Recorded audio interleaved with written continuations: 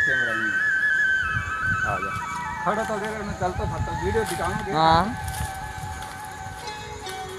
दोस्तों अभी हैं जंगल में और चल रहे हैं। थोड़ा घूमने के लिए आए थे यहाँ पे तो एक दोस्त मेरे साथ में है। ये। और हम दोनों साथ में। भाई जंगल में क्या है? अकेले में चलते हैं तो डर तो लगता है भाई। और आज जंगल में आए हैं। ये इतना सुंदर दृश्य बहुत अच्छा लग रहा है।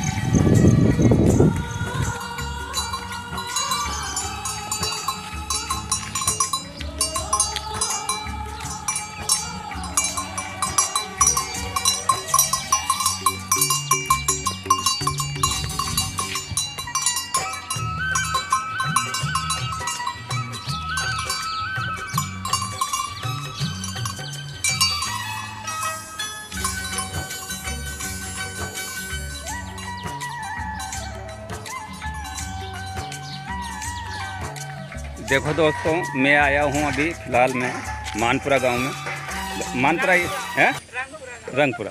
तो रंगपुरा गाँव में आया हूँ और दिखाऊँ आपको जो यहाँ का जनजीवन है। भाई, बारिश का समय है और बारिश के समय में ये जो पोलोथीन लगा रखी है, इन्होंने दीवार पे भी पोलोथीन लगा रखी है और ऊपर जो छत जो छत होता है तो छत पे भी पोलोथीन लगा रखा है। अब ऐसा है जो ये इधर भी लगा रखी है। और भाई इसका रीज़न तो मैं नहीं जान सकता।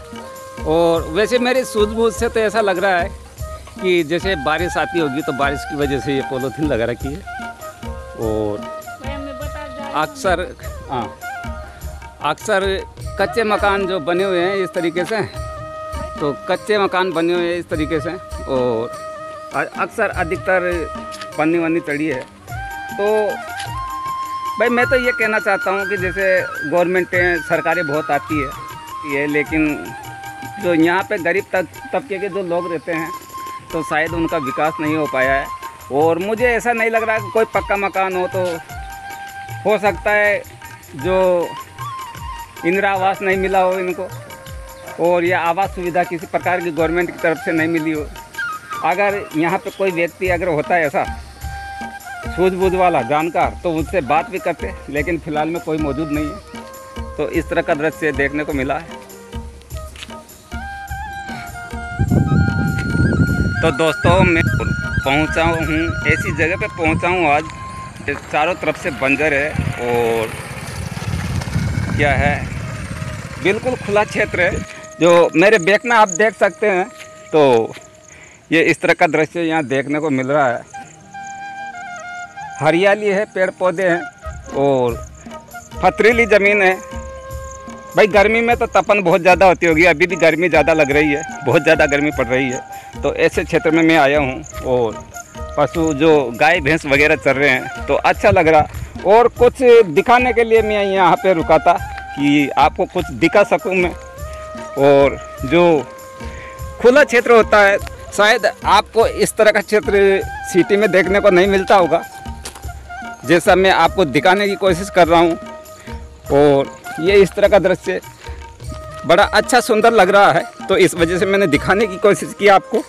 और ये जो मेरे बैक में है साइड में बाजू में देख लो।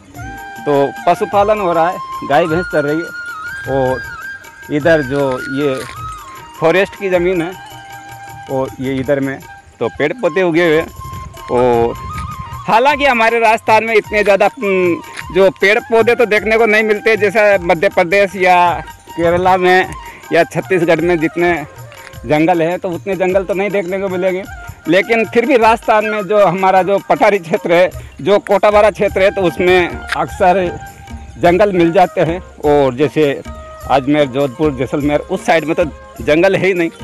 तो जो मैंने दिखाने की कोशिश की, और इसके बाद में चलते हैं आगे।